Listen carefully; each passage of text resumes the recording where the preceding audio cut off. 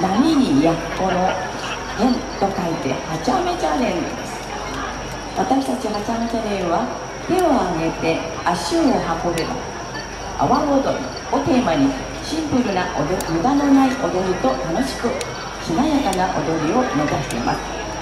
手を挙げて足を運べば阿波踊り、えー、この阿波踊りというものは右手右足左手左足を上げます。普通に歩くとかっこ悪いですよ。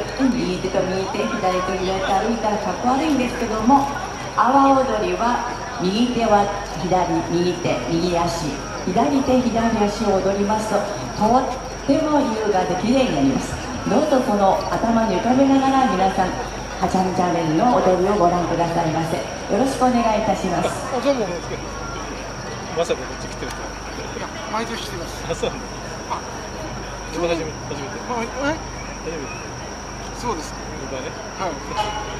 去年野本さんの出会い去年のあそうです。あのちここ来てしあ